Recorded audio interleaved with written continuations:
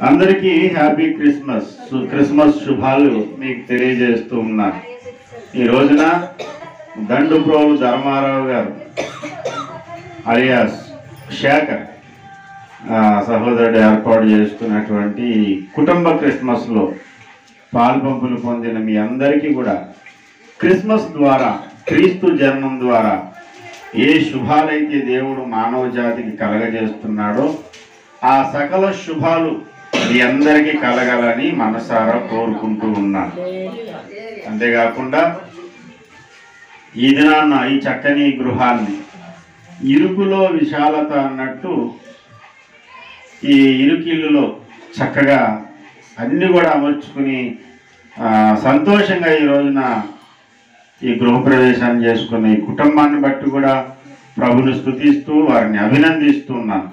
శేఖర్ని అలాగనే జోసెఫ్ని కుటుంబ సభ్యులందరినీ అభినందిస్తూ వారికి కూడా నా శుభాకాంక్షలు తెలియజేస్తూ ఉన్నాను ఈ సమయంలో పరిశుద్ధ బైబిల్ గ్రంథంలో నుండి మత్తేసు వార్త రెండవ అధ్యాయము పదవ వచనాన్ని చదువుకుని వాక్యాన్ని మనం ధ్యానం చేసుకుందాం.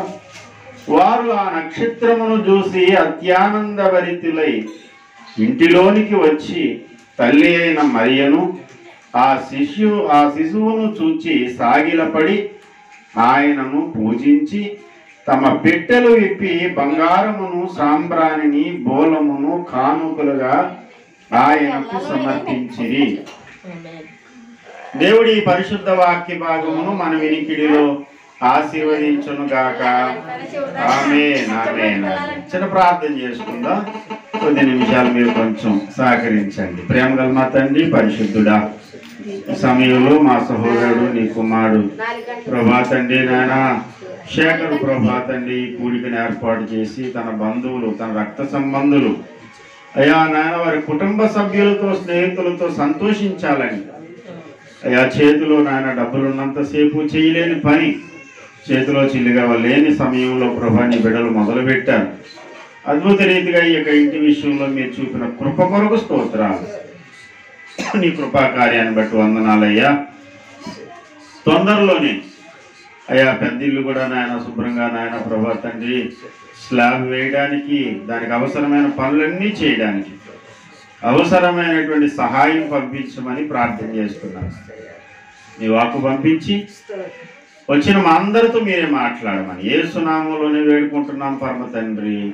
ఆమె ఆమె ప్రభునందు ప్రియమైనటువంటి దేవుని బిడ్డలారా సహోదరి సహోదరులారా ఆకాశ మహాకాశములు పట్టజాలని వాడెవరో ఆయనే దేవుడు. దేవుడు ఎక్కడున్నాడు అని చాలామంది అడుగుతారు. ఈ సృష్టిలో దేవుడు ఎక్కడా లేడు? ఆకాశంలో లేడు ఆయన భూమి మీద లేడు ఇక్కడ లేడు ఎక్కడా లేడు ఆయన? అదే సార్? అంత రివర్స్లో చెప్తున్నారు మీరు. దేవుడు ఎక్కడా లేడు. దేవుడు ఫలానా ప్లేస్లో ఉన్నాడని చెప్పడానికి వీలు లేదు. ఎందుకంటే ఆకాశము భూమి నక్షత్రాలు నక్షత్రాలన్నీ ఆయనలోనే ఉన్నాయి. అందుకనే దేవుని రూపం ఏంటంటే విశ్వరూపం. అప్పుడప్పుడు కోపం వచ్చినప్పుడు ఆ స్వరూపం చూపించేశాడండి అంటారు. విశ్వరూపం చూపించడం అంటే ఇంట్లో బాగా వస్తువులన్నీ బదలు కొట్టేయడం కాదు. విశ్వరూపం అంటే ఈ విశ్వం అంతా ఒక చిత్రం గీస్తే విశ్వం అంటే ఏంటి? ఈ భూమి ఆకాశము ఆకాశంలో ఉన్న కోట్ల నక్షత్రాలు ఆ గ్రహ మండలాలు ఇవన్నీ కలిస్తే విశ్వం. ఈ అనంతమైన విశ్వం అంటారు. ఎందుకంటే దీనికి కొలతలు లేవు దీనికి లెక్క లేదు. ఆకాశంలో నక్షత్రాలు ఇన్నని ఎవడన్నా లెక్క పెట్టగలడా? ఒకవేళ ఎవడన్నా లెక్క పెట్టాడు అనుకోండి అదంతా కాకులు లెక్క.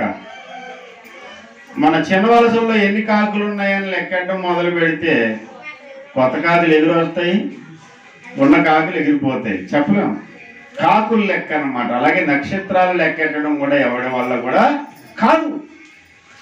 ఆకాశంలో లెక్కింపలేనన్ని నక్షత్రాలు ఉన్నాయి వీటన్నిటినీ చేయడమే కాదు వీటన్నిటినీ తన యందు కలిగి ఉన్నవాడు దేవుడు. దేవుని గురించి రకరకాల అభిప్రాయాలు ఉంటాయి మనుషులకి. ఎవరు ఎవరికి తోచిందో వాళ్ళు చెప్తారు. ఎందుకంటే ఎవరు చూసి వచ్చింది కాదు కదా. కానీ దేవుణ్ణి గురించి ఎవరు చెప్పిన అభిప్రాయం కరెక్ట్గా ఉంటుందంటే ఆ దేవుణ్ణి ధ్యానం చేసి తపస్సు చేసి ఏంటి పరిశోధన చేసి దేవుణ్ణి వెతికి కనుగొని చెప్పినోడిదేమో నా సత్యం అవుతుంది. ఇప్పుడు అమెరికా కోసం నేను ఏదో చెప్తున్నానండి. అమెరికాలో విమానాలు నేల మీద వెళ్తాయి ట్రైన్లు భూమిలోంచి వెళ్తాయి నా ఇష్టం వచ్చినట్టు చెప్పేశాను. మీరు అలాగా బాబు అలాగా బాబు అని అడుగుతున్నా అంటున్నారు. ఈ లోపల ఒక అబ్బాయి వచ్చాడు. మీరు ఎప్పుడు వెళ్ళారు సార్ అమెరికా? అని అడిగాడు అనుకోండి. అదే నేను వెళ్ళలేదండి. అమెరికా వెళ్ళి వచ్చిన వాడు చెప్పింది సత్యం అవుతుందా లేకపోతే నాకు తోచింది చెప్తే సత్యం అవుతుందా అలాగే దేవుణ్ణి గురించి తోచింది ఏదో అనిపించింది.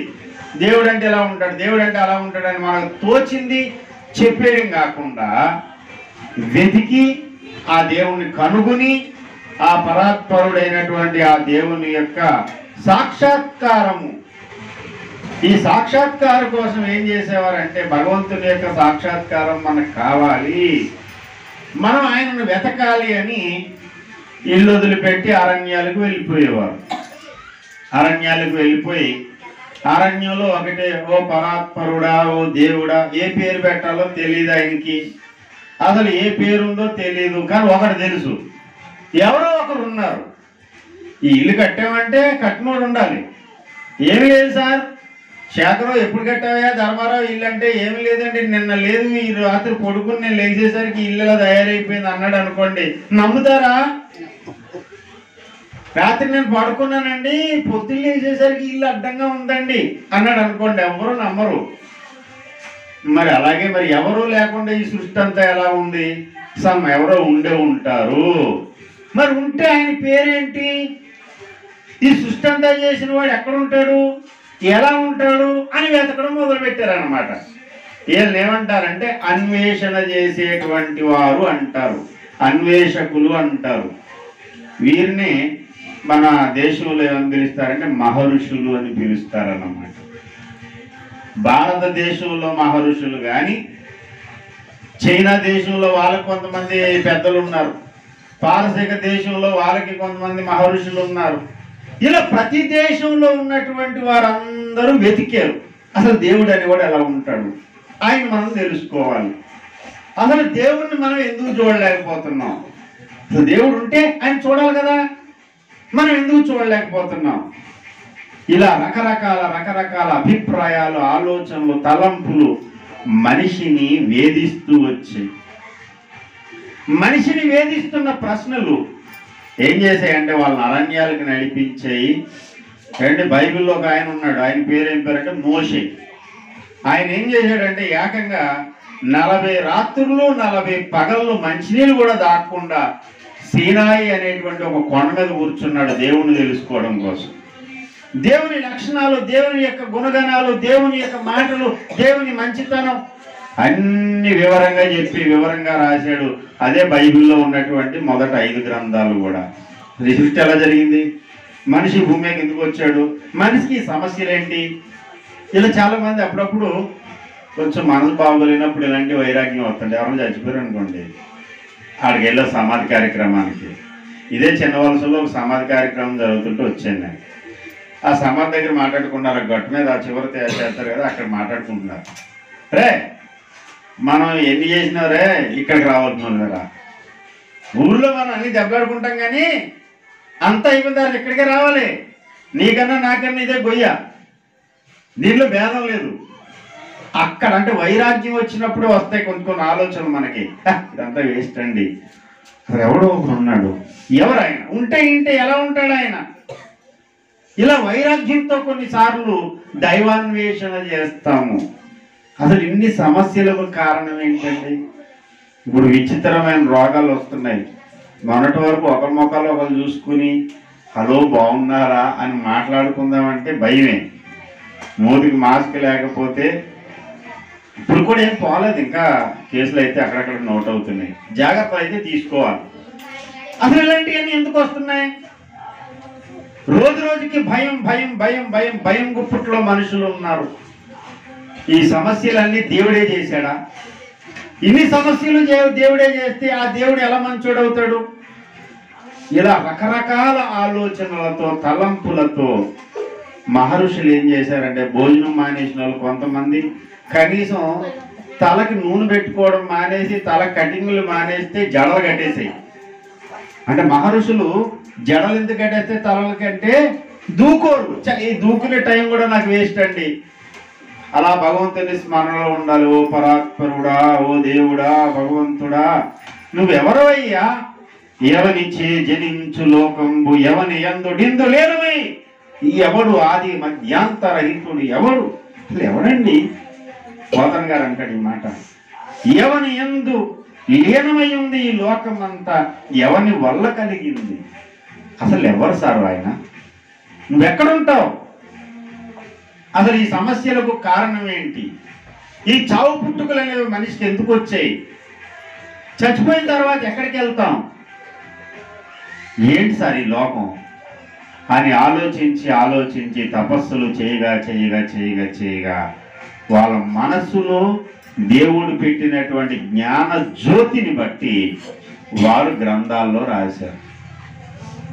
అండ్ బైబిల్ గ్రంథమైనా భారతదేశంలో రాయబడినటువంటి వేదములైనా ఇవన్నీ ఎలా రాశారు? కూర్చుని సొంతంగా ఏదో ఒక పిచ్చి పిచ్చి కేదలు రాసేలేదు వాళ్ళు. వెతికారు వెతికారు వెతికారు వెతికారు వెతికారు. వారికి సత్యం ప్రత్యక్షమైంది. ఏంటా సత్యం అంటే మీరు అనుకుంటున్నట్టు ఈ భూమి ఆకాశాలు చేసిన వాడు ఒక్కడే. ఎవరో ఉన్నారు ఎవరో ఉన్నారు ఎవరో ఉన్నారు అంటున్నారు కదా. సత్యం అహం గంభీర. నేను సత్యమును గంభీరుడనై ఉన్నాను నేను ఉన్నానురా అని ఆ దేవుడు మహర్షులకు ప్రత్యక్షమయ్యాడు. అందుకనే బైబిల్ గ్రంథంలో ఏమని రాశాడో తెలుసా మహర్షి? మహర్షి అన్న ప్రవక్త అన్న ఇవన్నీ కూడా పర్యాయ పదాలు అంతే. వైద్యుడు అంటాం డాక్టరు అంటాం. అంటే వైద్యుడు అంటే వేరు డాక్టర్ అంటే వేరా? భాష మారిందంతే. బైబిల్ భాష ప్రకారం ప్రవక్తలు అంటాం. భారతీయ భాష ప్రకారంగా మహర్షులు అంటాం. ఈ ప్రవక్త అయినా మహర్షి అయినా చేసేది ఏంటి? అంటే మనకు తెలియని సంగతులు దేవుని దగ్గర అడిగి మనకు చెప్పేవాళ్ళు అన్నమాట. ఏం చెప్పారంటే ఉన్నవాడొక్కడే నేను నేనే నేను ఉన్నవాడను అనువాడనై ఉన్నాను. బైబిల్లో మోసే అనేటువంటి మహర్షితో ప్రవక్తతో దేవుడు మాట్లాడాడు. నేను ఉన్నవాడను ఉన్నవాడుగా ఉన్నాను నేను. ఎప్పటి నుంచి ఉన్నావు? అంటే ఒక స్టార్టింగ్ పాయింట్ లేదు ఆయనకి నాకు నీకు మనందరికీ ఒక స్టార్టింగ్ అనేది ఉంది. ఒక ప్రారంభం అనేది ఉంది. ఎప్పుడు పుట్టారండి?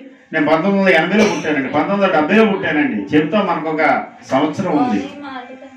జన్మము లేని వానిగా ఉంటూ తానంతట తానుగా ఉన్నవాడెవరో? ఆయనే దేవుడు. ఎంతమంది ఉన్నారండి దేవుళ్ళు? అంటే మనం ఎంతమంది ఉండొచ్చండి? ఎన్ని కోట్ల మందికి ఇన్ని కోట్ల మంది ఉండొచ్చండి? అని మనం అనుకుంటాం కానీ మహర్షులు ఏం చెప్పారంటే ఏకం ఏవహ ఒకే ఒకడున్నాడు. ఆది మధ్యంతరహితుడైన వాడు ఒకడే ఉన్నాడు. ఆయన సృష్టి స్థితి లయకారకుడై ఉన్నాడు. సృష్టిస్తున్నాడు పరిపాలిస్తున్నాడు నాశనం చేస్తున్నాడు. పాడైపోయినప్పుడు ఈ సమస్త సృష్టి స్థితి లయకారకుడు ఒక్కడే ఒక్కడే ఒక్కడే. ఆ ఒక్కడై ఉన్న దేవుణ్ణి మనిషి ఎందుకు చూడలేకపోతున్నాడు? ఆ ఒక్కడై ఉన్న మనిషి దగ్గర దేవుని దగ్గరకు మనిషి ఎందుకు చేరలేకపోతున్నాడు? ఇదో పెద్ద సమస్య. ఈ సమస్య కూడా పరిష్కారం చెప్పారు. బైబిల్లో చెప్పబడింది వేదాలలో చెప్పబడింది. ఏంటయ్యా పరిష్కారం అంటే పాపము ద్వారా మనిషి దేవుని చేరలేకపోతున్నాడు. పాపం అనేది మనిషికి దేవునికి సంబంధం లేకుండా చేసింది. మనిషిని దేవుని నుండి దూరం చేసే శక్తి పాపం. ఈ పాపము నుండి విడుదల పొందే మార్గం ఏది? ఎలా మరి పాపం నుండి బయటపడతాం? మరి పాపం పోయే దారి లేదా? కొన్నిసార్లు అంటారు చేసుకున్న పాపం చెప్పుకుంటే పోద్దండి. అంటారు. చేసుకున్న పాపం చెప్పుకుంటే పోతుందా? చెప్పుకుంటే దాన్ని డెవలప్ చేసి ఊరంతా టమకే వేస్తారు ఎవరికైనా చెప్తుంది ఏండి పాపం పోయే మార్గం ఏది? మహర్షులు వెతికారండి. ఏమని రాశారు తెలుసా? రక్తము చిందిస్తేనే పాపానికి పరిహారం జరుగుతుంది. రక్తం చిందించకుండా పాపానికి పరిహారం జరగదని రాశారు. నేను ఒక బైబిల్ చెప్పట్లే ఓ మతాన్ని చెప్పట్లే. నేనేం చెప్తున్నానంటే ఉన్న సత్యం చెబుతున్నాను నేను. మనం మాట్లాడుకునేది మత ప్రచారాలు వద్దు మనకి మతాలు వద్దు. ఏం కావాలి? సత్యం కావాలి. ఏంటయ్యా సత్యం అంటే పాప పరిహారం కొరకు రక్తం చిందించాలి. అందుకనే మన చిన్న వలసల్లో ఏదైనా పండుగ జరిగింది అనుకోండి ఏదో అమ్మవారి తీర్థం ఏదో జరుగుతుంది కదా. ఆ సమయంలో ఏం చేస్తారు? ఒక కోడు ఒక మేక బలి అర్పిస్తారా అర్పించరా వేస్తారమ్మా మేకలు వేస్తారా? మీ ఊళ్ళో ఇక వేస్తారు. ఎందుకు వేస్తున్నాం ఊర్లో దేవత దగ్గర వేయడమే కాదు మన ఇంట్లో కూడా దండం పెట్టుకుని కోడి కోసుకుంటాం. ఎందుకు కోసారు? ఏమో సార్ మా నాన్న కోసాడు. మా నాన్న అడిగాను. ఎందుకు వస్తున్నాం అంటే మనం కోసుకోవాలిరా అన్నాడు మా నాన్న. మా నాన్నకు కూడా తెలియక మా తాతను అడిగాడు మా తాత ఏమన్నాడంటే మా తాత పోసాడు కాబట్టి నేను పోసాను అన్నాడు. తాత దగ్గరికి వెళ్ళాం. తాత తాత దగ్గరికి వెళ్తే తాత తాత దగ్గరికి వెళ్తే తాత తాత తాత తాత తాత ఎన్ని తాతల దగ్గరికి వెనక్కి వెళ్ళినా సరే అందరూ కోస్తూనే ఉన్నారు మేము కోస్తా ఉన్నాం. అందరూ కోసారని మనము కోయడమేనా? లేక దీని వెనకాల ఏమన్నా కథ ఉందా? ఏదో ఒక కథ దాగే ఉండాలి. ఏది ఊరికనే చేయరు కదా. ఎవడన్నాడు ఈ కోడి కోసుకోవడం మేక కోసుకోవడం మనం తినడానికేనండి. ఏ మనం తినడానికి చికెన్ షాప్లో తెచ్చుకోవా? చికెన్ షాప్లో తెచ్చుకుంటాం అది వేరు. కానీ ప్రత్యేకంగా ఆ రోజు మనం ఒక కోడినో మేకనో కోసినప్పుడు ఆ దేవత దగ్గర ఏం వదులుతామండి? ఏం వదులుతాం? కోడి తెచ్చేసుకుంటాం కానీ ఏం వదులుతాం? అక్కడ రక్తం విడిచి పెడతాం అక్కడ. అవునా కదా? కోడి కోసామండి. దాని రక్తం అక్కడ ఒలిగింది. అప్పుడు ఆ రక్తం ఏం చేస్తాం? తీసుకుని దాన్ని బొట్టెట్టుకుని దండం పెట్టుకుంటాం. ఎందుకు చేస్తున్నాం అలాగా? అంటే దాని వెనక చాలా కథ ఉంది. అదే మూడాచారం కాదు. ఇది కొత్తగా వచ్చిన కథ ఏం కాదు. ఈ మధ్యకాలంలో వచ్చిందండి. ఈ ప్యాంట్లు ఈ చొక్కాలు ఈ సూట్లు ఈ బూట్లు ఈ సోకులు ఈ మధ్యకాలంలో వచ్చాయి. కానీ మా తాతల నుంచి ఉన్నది ఏంటంటే పంచుకొట్టు అంటాం చూడండి. అలాగా? ఈ కోడిని కోసే ఆచారం మేకను కోసే ఆచారం కొత్తగా రాలేదు. ఇప్పుడు నుంచో ఉంది. అండి శ్రీరామచంద్రుడు అశ్వమేధ యాగం చేశాడు. ధర్మరాజు అశ్వమేధ యాగం చేశాడు. అశ్వమేధం అంటే ఏంటంటే ఒక అశ్వాన్ని రాజ్యాల మీదకి విడిచిపెడతారు. అది రాజ్యాలన్నీ తి- తిరిగిన తర్వాత దాన్ని ఎవడు ఎదిరించలేదనుకున్న రాజ్యాలన్నీ అలా వశం అయిపోతాయి ఆ తర్వాత అశ్వం రాగానే దాన్ని అశ్వం అంటే ఏంటి? గుర్రం. గుర్రాన్ని కోసి దాన్ని యజ్ఞవాటికలో దాని మాంసాన్ని కాలుస్తారు రక్త తర్పణం చేస్తారు. ఇలాగ అందరూ యజ్ఞాలు చేసిన వాళ్ళే యాగాలు చేసిన వాళ్ళే. ఋగ్వేదము యజుర్వేదము సామవేదము అథర్వవేదము చతుర్వేదాలు చదివి చెబుతున్నాం. వేదాల నిండా ఈ బలి కర్మకాండలు ఉన్నాయి. మరి వేదాలైనా బైబిల్లో లేవా? బైబిల్లో కూడా ఉంది. బైబిల్లో లేవ్యకాండం అంతా కూడా బలి కర్మకాండల కోసమే. మీలో ఎవడైనా ఒక పొరపాటున ఒక యజ్ఞం చే పాపం చేసిన ఎడల ఒక గోడ పిల్లను కానీ ఒక మేక పిల్లను కానీ ఒక గొర్రె పిల్లను కానీ ఒక పావురాన్ని కానీ తీసుకురండి. దాన్ని బలిగా బలిపీఠం మీద అర్పించండి. ఇలా బైబిల్లో చేశారు యజ్ఞాలు. ముస్లిం సోదరులు చేయరంటే వాళ్ళు బక్రీద్ రోజున వాళ్ళు ఒక పశువుని బలి చేస్తారు. ఇలాగ అన్ని మతాలలో కూడా కోడ్నో మేకనో కోసుకునే ఆచారం ఉంది. ఏజెన్సీలు అయితే మనిషిని కూడా బలిస్తారు. వేదాల్లో కూడా ఉంది. మనిషిని బలించినటువంటి ఆనవాళ్ళు. ప్రియమైనటువంటి వాళ్ళ ఇలా ఎందుకు చేశారంటే ఇదేదో మూఢాచారంగా కొత్త ఆచారంగా కాదు. మహర్షులకు దేవుడు చెప్పాడు. బైబిల్లో ఉన్న మహర్షులకు చెప్పాడు. రక్తము చిందించకుండా పాపానికి పరిహారం జరగదు. పాపం పోకుండా దేవునితో ఒక వ్యక్తి సమాధాన పడలేడు మనశ్శాంతి నెమ్మది అనేది ఎప్పుడు వస్తుందంటే పాప పరిహారం జరిగినప్పుడు. మరి పాప పరిహారం ఎప్పుడు జరుగుతుంది? అంటే రక్తం చిందించినప్పుడు. అదేంటి సార్ రక్తం చిందించడం ఏంటి? పాపం చేశారు కదా మీరు చావాలి. మీరు బతకాలనుకుంటున్నారు కదా? ఓ పని చేయండి. మీకు బదులుగా మీకు బదులుగా ఇంకొక జీవిని అర్పించండి. అంటే కోడినో మేకనో అర్పిస్తూ వచ్చాం. ఇలా చాలా కాలంగా జరుగుతూనే ఉంది. రక్త రక్త ప్రోక్షణం జరుగుతూనే ఉంది. ఏంటి తాండియ మహాబ్రాహ్మణంలో ఈ మాట ఉంటుంది. ఏమనంటే సర్వపాప పరిహారో రక్త ప్రోక్షణం అవశ్యం. సర్వపాపములు పోవాలంటే రక్తం చిందించడం అవసరం. తద్రక్తం పరమాత్మేన పుణ్యదాన బలియాగం ఆ రక్తము పరమాత్ముడైనటువంటి దేవుడట ఈ భూమి మీదకు వచ్చి పుణ్యదానంగా అర్పించాలట. పరమాత్ముడైన దేవుడు ఈ భూమి ఆకాశాలన్నింటినీ తన యందు కలిగి ఉన్నవాడు రక్త ప్రోక్షణం చెయ్యాలి ఎలా సాధ్యమవుతుంది? భూమి ఆయిందే ఆకాశం ఆయిందే అన్ని ఆయనలోనే ఉన్నాయి.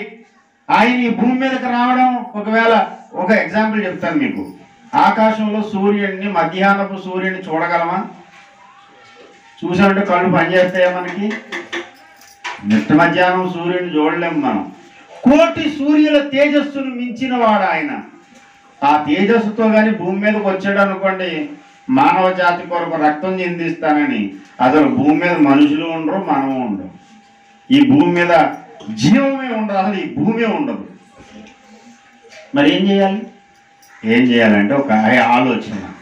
రక్తము చిందించాలంటే మనిషిగా ఈ భూమి మీదకి రావాలి కనుక ఆ మహాదేవుడు మనిషిగా ఈ భూమి మీదకి వచ్చాడు. దాని పేరే క్రిస్మస్ అన్నమాట. ఆయన ఈ భూమి మీదకి ఎలా వచ్చాడు? కన్యక అయినటువంటి ఒక ఆమె ఉంది. అందరూ పాపంలోనే ఉన్నారు. తల్లిదండ్రుల యొక్క రక్తంలో పాపం ఉంది. ఆ రక్తం పంచుకొని పుడుతున్న మనందరికీ పాప స్వభావమే ఉంది. ఈ పాప స్వభావంలో ఉన్న మనిషిని పరిశుద్ధిగా చేయాలంటే పరిశుద్ధ రక్తం కావాలి. కోళ్ళ రక్తం మేకల రక్తం చిందిస్తూనే ఉన్నారు మీరు. కానీ వీటన్నిటికీ బదులుగా అసలు సిసలైనటువంటి యజ్ఞం జరగాలని ఆయన భూమి మీదకి వచ్చాడు. ఎలా వచ్చాడంటే ఒక కన్యక అయిన మరియ ఉంది. ఆమె దగ్గరకు దేవదూత గారు వచ్చాడు అమ్మా మరియా అంటే అల్లిపోతుంది భయపడిపోతుందా? హడలిపోయింది. భయపడకు. నీ కడుపును దేవుడు వాడుకుంటాడమ్మా. నీ కడుపులోనికి నీ గర్భములోనికి దేవుడు దూరతాడు నువ్వు ఒక బిడ్డను అంటావు. ఆ బిడ్డ ఎలాంటి వాడంటే ప్రజలందరూ పాపంలో ఉన్నారు కాబట్టి పాపములో ఉన్న ప్రజలను పాపము నుండి విడిపిస్తాడు అని చెప్పాడు దేవదూత గారు. అల్లిపోయింది దెబ్బకి హడలెత్తిపోయింది. అయ్యో బాబోయ్ నాకేంటయ్యా బిడ్డ పుట్టడం ఏంటి? నాకు ఇంకా పెళ్ళి అవ్వలేదు. పెళ్ళి కాకుండానే నేను గర్భవతినై ఒక బిడ్డను కానీ కన్నాను అనుకో ఊరంతా ఏం చేస్తుందండి? నా నాకు ఎంత అవమానం? రాళ్ళు ఇచ్చుకుని కొడతారు ఆ దినాల్లో. నా వల్ల కాదు నాయన అంటే భయపడకమ్మా అది నీ తప్పేం కాదు నువ్వే తప్పు చేయలేదు. నీవు ఇంకా ధన్యురాలివి ఎందుకంటే దేవుడే నీ గర్భంలో దూరుతున్నాడు పుట్టబోయే శిశువు మహాశక్తిమంతుడై మనుషులందరూ ఇప్పటి వరకు మేకల్ని కోళ్ళని బలర్పిస్తున్నారు చూడు. వాటికి బదులుగా ఆయన బలవుతాడు. ఆయన రక్తం గారుస్తాడు. ఆయన గార్చిన రక్తం ద్వారా మానవ జాతి అంతటికి కూడా మోక్షం కలుగుతుంది అని చెప్పేసరికి మరియమ్మగా గారు ఒప్పుకుందండి చంపితే చంపేది దేవుడి మాటకి నేను లోబడతానండి. మనుషులు నిందిస్తే నిందించారు. అయినా సరే దేవుని చిత్తానికి లోబడతాను అనుకుంది దేవుడు ఆమె కడుపులో దూరాడు నవమాసాలు మోసింది. అప్పటికి ఇంకా ప్రధానమైంది పెళ్ళి అవ్వలేదు సంబంధం అయితే నిశ్చయమైంది. వాళ్ళ ఆయనకి ఈ కబురు తెలిసేసరికి అమ్మ బాబు ఈ అమ్మాయి చాలా మంచిది అనుకున్నాను కానీ ఇలా ఇలా రాంగ్ ఏదో చేసి ఉంటుంది. వదిలేద్దాం రహస్యంగా వదిలేద్దాం అనుకున్నాడు. ఆయన పేరు యోసేపు గారు. ఆయనకు కూడా కనిపించాడు దేవుడు. కనిపించి భయపడకయ్యా ఆమె ఏ తప్పు చేయలేదు. ఆమె నేనే ఆమె కడుపులోకి దూలేను. కాబట్టి ఆమెను చేర్చుకో.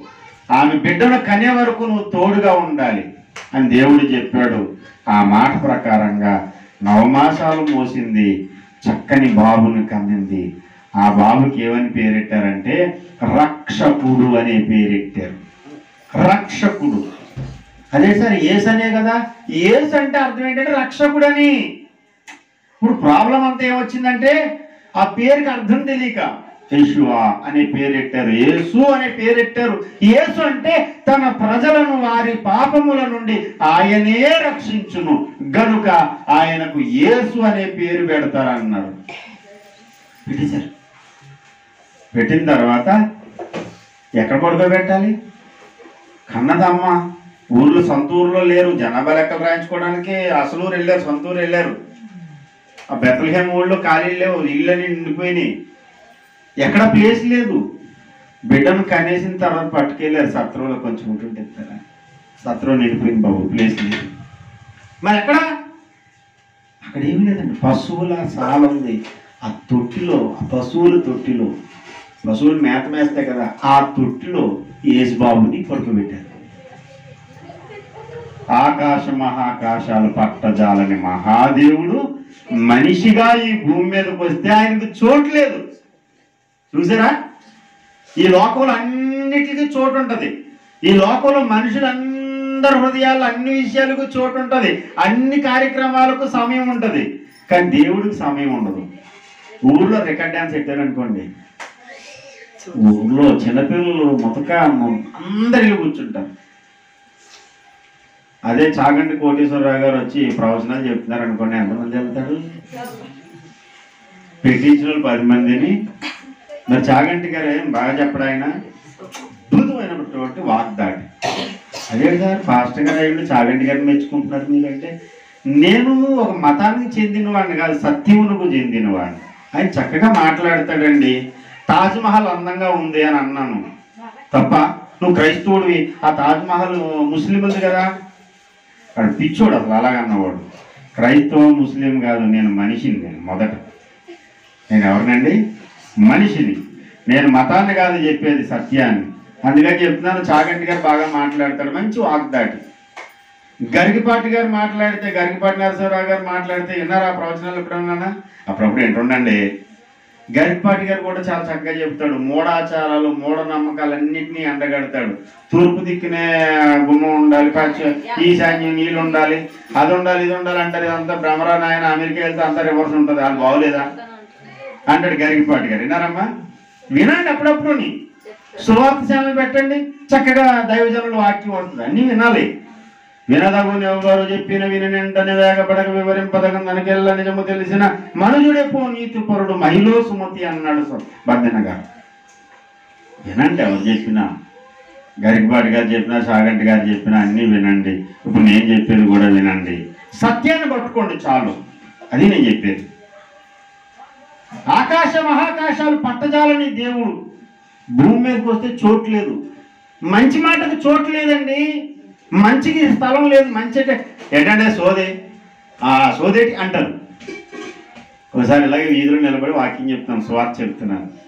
సత్యమును గ్రహించండి అని చెప్తుంటే ఒక అతను ఇంట్లోకి వచ్చి బాబు మమ్మల్ని తిన్నవరా? అన్నాడు అది నేను ముద్దే నేను పట్టేసుకున్నాను? నేను వీధిలో నేను మైకులో ఏదో చెప్తుంటే మమ్మల్ని ఇంట్లో తిన్నవరా? బాబు శుభ్రంగా తిన్నాయన సిగిరి వేసుకుని తిను మాకు ఏంటి బాధ. పెడతానంటే మేము తింటాం. మాకేం లేదు. కులమతాలు లేవు. అక్కడ అన్ని చోట్ల తింటాం. ఏమండి? కొంతమంది ఏమంటారంటే అంత బాగుంటుంది అంటే మేమేమన్నా చేసుకుంటే మేమన్నా పిలిస్తే రారండి. మా ఇంట్లోకి రారండి. ఎందుకు రాము? శుభ్రంగా పెట్టండి. అన్నీ తింటాం. అలాంటిది ఏం లేదు ఇక్కడ. మిమ్మల్ని మేము ముట్టుకోకూడదు. మమ్మల్ని మేము ముట్టుకోకూడదు. ఇలాంటివి అన్నీ చెప్పేవాడు వాడు మనిషి కాదండి పసువాడు మాకు ఏమీ లేదండి. ఎవరు చనిపోయినా వెళ్తాము. ఎవరు కష్టంలో ఉన్నా వెళ్తాము. ఎవరు సంతోషంలో ఉండి ఏంటి? ఇంట్లో పెళ్ళి చేసుకుని పండగ చేసుకుని. పండగంటే ఉంది పెళ్ళి చేసుకున్నారు ఇంట్లో. శుభమా అంట ఇంట్లో పెళ్ళి కొడుకుని పెళ్ళి కూతురు చేశారు. పిలిచారనుకోండి వెళ్తాం నక్షత్రాలు వేస్తాం దీవించి వస్తాం. అందరితో కలిసి ఉండమని చెప్పాడు దేవుడు అంతే తప్ప ఏకాగ్గా కాకైపోయి ఎక్కడ కూర్చోమని చెప్పలే. అందరితో కలిసి ఉండాలి. యేసుక్రీస్తు ప్రభు వారు మనిషిగా ఈ భూమి మీదకి వస్తే ఆయన చూడలేదు అప్పుడు పశువుల తొట్టులో పడుకోబెట్టారు. ఊరి వెనపల గొర్రెలు కాసుకునే గొర్రెల కాపరల దగ్గరికి దేవదూత గారు వెళ్ళాడు. రక్షకుడు పుట్టాడు వెళ్ళండి ఊర్లో అందరూ గుర్రె పెట్టి నిద్రపోయారు. కానీ ఊరు వెలుపల మందను మేపుకునే కాపర్లు మాత్రం మెలకుగా ఉన్నారు. మంటేసుకుని కూర్చున్నారండి. కూర్చుంటే వాళ్ళ దగ్గర దేవత దగ్గర వెళ్ళాడు ఒక్కసారి అల్లిపోయారు అందరిని అదే ప్రభావం ఇది కొత్త మంది ఆహారం కొత్తగానే ఉంటుంది. రక్షకుడు మీ కొరకు పుట్టాడు. వెళ్ళండి. ఎక్కడికి వెళ్ళాలయ్యా? మీరు వెతకండి. ఒక శిశువు పొత్తుగుడ్డలతో చుట్టూ తొట్టులో ఉంటాడు వెతకండి అంటే అందరూ వెతుక్కుంటూ వెళ్ళారు. పశువుల తొట్లో పడుకుని ఉన్నాడు బాలుడు. చూశారు ఆశ్చర్యపోయారు ఆనందపడ్డారు పూజించారు మొక్కారు ప్రార్థించారు. రెండేళ్ళు గడిచిపోయింది. రెండేళ్ళు గడిచిపోయిన తర్వాత కూడా అక్కడే పశువుల తొట్లు లేరు. సొంతూరు వచ్చేసారు మళ్ళీ. ఒక ఇంటికి వచ్చారు. ఆ ఇంటిలో ఏంటంటే ఆ డాబానో మనకి తెలియదు బైబిల్లో. ఆ ఇంటిలో యేసు ప్రభు వారు ఉన్నారు. ఈయన పుట్టగానే తూర్పు దేశంలోనంటే ఆయన నక్షత్రం చూశారట. మన దేశంలో ప్రజలు మహర్షులు పెద్ద మేధావులు చూసి ఏటబ్బా ఈ నక్షత్రం కొత్తగా వచ్చింది స్టార్ అని నక్షత్ర శాస్త్రం మనల్ని తెలుసు కదా? కొత్త నక్షత్రాలు. నక్షత్రాల యొక్క పోకడన్నీ మనల్ని తెలుసు. ఎందుకంటే ఏటకి వెళ్ళినప్పుడు ఆకాశంలో చూసి టైం చెప్పేస్తారు మన వాళ్ళు అవునా కదా? ఎంత అవుతుంది టైం అంటే వాచ్ లేదు వాళ్ళ దగ్గర. పైకి చూస్తారు నక్షత్రాలు. ఇప్పుడు నాలుగు అయి ఉంటుంది. చెప్పేస్తారు ఒక ఐదు ఆరు నిమిషాలు లేదా పది నిమిషాలు తేడాలో చెప్పేస్తారు అలాగా? ఆకాశంలో ఒక కొత్త నక్షత్రం వచ్చింది. ఏంటా తార ఏంటా నక్షత్రం అని పైకి చూశారు. గ్రంథాలు తిరగేశారు. గ్రంథాల్లో ఏముందంటే ఒక మహానుభావుడు రక్షకుడు భూమి మీద పుట్టినప్పుడు ఆయన యొక్క నక్షత్రం ఈ భూమి మీద ఆకాశంలో కనిపిస్తుంది. భూమి మీద మనుషులకని చెప్పి గ్రంథాల్లో ఉంది. దాన్ని పట్టుకుని ఆ నక్షత్రం అంట వీళ్ళు నడుస్తుంటే జరుగుతుందంట. అంటే అది బాగా పైన లేదు. ఇలా కనిపించేంత ఎత్తులో ఉంది. ఆ నక్షత్రం చూపిన దారిలో రెండు సంవత్సరాలు నడిచి యేసుక్రీస్తు ప్రభు వారు ఉన్నటువంటి ఆ ఇంటిలోనికి వచ్చారు. నక్షత్రం ఇంటి మీద ఉంది. ఇంటిలో ఏసై ఉన్నాడు. దేవునికి స్తోత్రం కలిగి ఈ క్రిస్మస్ పండుగ రోజున ఈ గృహప్రవేశం చేసుకుంటున్నారు కనుక నేను చెప్తున్నాను యేసు ఇంట్లో ఉండాలి. అదే సార్? ఆకాశ మహాకాశాలు పట్టజాలం దేవుడు అన్నారు కదా. దేవుడు అంటే ఆకాశం భూమి అన్ని ఆయనలో ఉన్నాయి అన్నారు కదా. మరి ఏ యేసుప్రభు వారి ఇంట్లో ఉండడం ఏంటి సార్? ఉంటాడు. మీరు గుడి దగ్గర పంతులు గారు మంత్రాలు చదువుతారు కదా. మీరు అర్చన చేయించుకోవడానికి వెళ్ళారనుకోండి చదివే మంత్రాలు ఒకసారి వినండి జాగ్రత్తగా. అందులో ప్రథమ మంత్రాలు ఏం చదువుతారో తెలుసా? ఈ వస్తువులను మంత్రాలు చదువుతారు. ఈ వస్తువు ఏంటంటే ఋగ్వేదంలో పదవ మండలంలో ఉన్నటువంటి మాటలు ఇదేంటంటే పురుష సూక్తం అంటారనమాట ఈ పురుష సూక్త మంత్రాలు చదువుతారు. ప్రారంభ మంత్రం నేను ఊరికే చదువుతాను మీకు వెంటనే గుర్తొచ్చేది. మీరు గుడి దగ్గర చాలా సార్లు విని విని విని ఉన్న మంత్రమే అది. ఓం సహస్ర శిరీష పురుష సహస్రాక్ష సహస్రపాత్ విన్నారా? ఎన్నోసార్లు విన్నాం. బాబోహం బాబగరహం బాపాత్ తర్వాత చదువుతారు. తర్వాత నేను గోత్రనామాలు చదువుతారు. పైడిపాల గోత్రస్య పైడిపాల గోత్రానికి సంబంధించిన వాడు.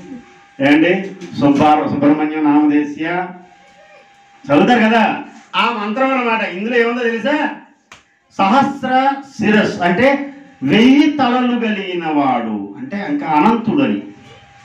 సహస్రాక్ష అంటే వెయ్యి కన్నులు కలిగిన వాడు. సహస్రపాత్ వెయ్యి పాదములు కలిగిన వాడు. అలాంటి దేవుడట. దీని భావం తెలుగు భావం చదువుతున్నాను. భగవంతుడు వేలాది తలలు గలవాడు వేలాది కన్నులు గలవాడు వేలాది పాదములు గలవాడు. భూమండలము యావత్తు వ్యాపించి పది అంగుళములలో ఇమిడిపోగలడట. సర్వం నిండి ఉన్న దేవుడట పది అంగుళాల్లో కూడా ఉండిపోతాడట. దేవుడికి ఇరికైపోద్దేమో అనుకోకండి. దేవుడికి ఇరికైపోద్ది ఇల్లు మనకి ఇరికైపోద్దేమో కానీ. దేవుడు చిన్న దాంట్లో కూడా ఉండగలరు ఒక మాట అండి అమ్మా మాట నేను ఆఖరి మాట చెప్పేసాను పెద్ద కొండ దూరంలో ఉంది. ఆ కొండను మన ఇంట్లో తేగలమా? కానీ అద్దంలో పెట్టేలా చూసామనుకోండి ఆ కొండ. అలాగా? ఆకాశ మహాకాశాలు పట్టజాలని దేవుడు కొండ అద్దంలో చూపించినట్టు చంద్రుణ్ణి అద్దంలో చూపించినట్టు ఆయన నీ ఇంట్లోకి వస్తాడు నీ గుండెల్లోకి వస్తాడు నీ మనసులోకి వస్తాడు యేసు ప్రభు వారు ఆ ఇంటిలో ఉండగానే జ్ఞానులు వచ్చి మోకాళ్ళు వేశారు. నీ ఇంటికి ఎప్పుడు విలువ వస్తుందంటే ఏసై ఉన్నప్పుడు. నీకు ఎప్పుడు విలువ వస్తుందంటే ఏసై ఉన్నప్పుడు. ఏసయ్య ఏ హృదయంలోకి అయితే వస్తాడో ఏ ఇంటిలోకి అయితే వస్తాడో ఆ ఇంట్లో మనశ్శాంతి వస్తుంది. చిన్న చిన్న వాటికి ఆత్మహత్య చేసి చచ్చిపోతున్నారండి. చిన్న చిన్న విషయాలకి ఊరేసుకుందాం కిరోసిన్ పోసుకుందాం. మరి అలా అనుకుంటే ఈ కుటుంబం అసలు ఉండే ఉండకూడదు. ఎన్ని కష్టాలు పడ్డారు మీరు అందరూ చూసిందే మీ కళ్ళతో. ఏంటి చెరువు పోయింది ఎప్పుడో పదిహేను ఏళ్ళ కిందట మొదలెట్టిన ఇల్లు ఇప్పుడు పూర్తయింది. ఇన్ని కష్టాల్లో కూడా వీళ్ళు ఎప్పుడూ ఆనందంగానే ఉన్నారు. సంతోషం అంటే ఏదో ఉన్నారు డబ్బులు వచ్చినప్పుడు అందరూ సంతోషిస్తారు. దాని పెద్ద గొప్ప ఏం కాదు. అన్ని కష్టాలే. ఆ అబ్బాయి చూస్తే జోసఫ్ ఈశ్వరరావు ఆరోగ్యం బాగోదు.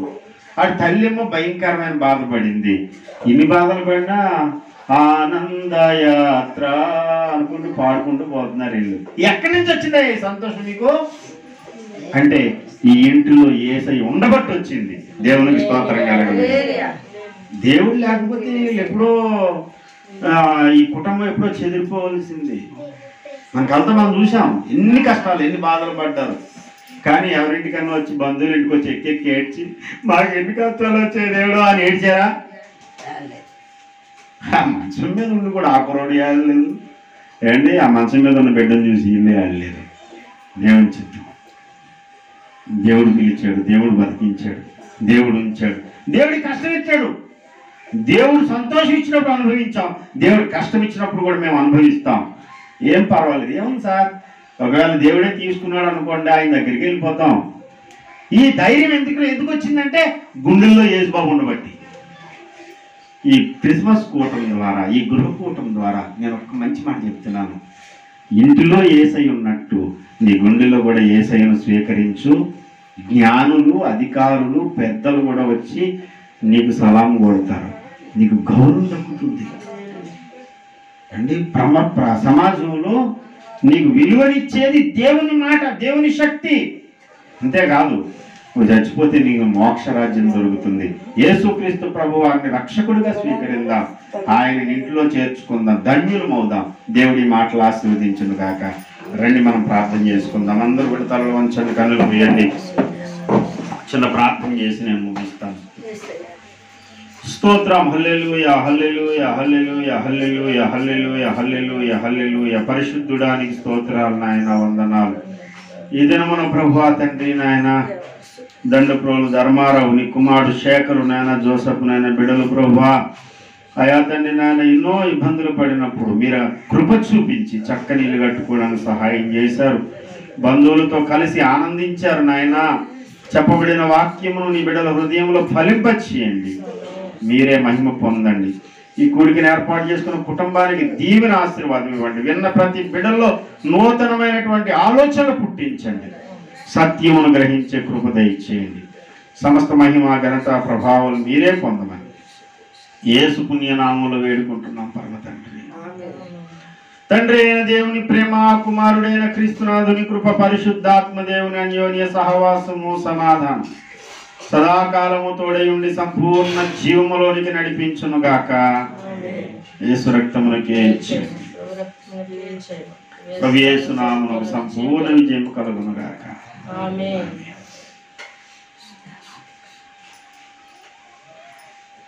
అందరికీ వందనాలండి. దేవుడు మిమ్మల్ని దీవించును గాక మీ అందరికీ మరొకసారి క్రిస్మస్ శుభాలు.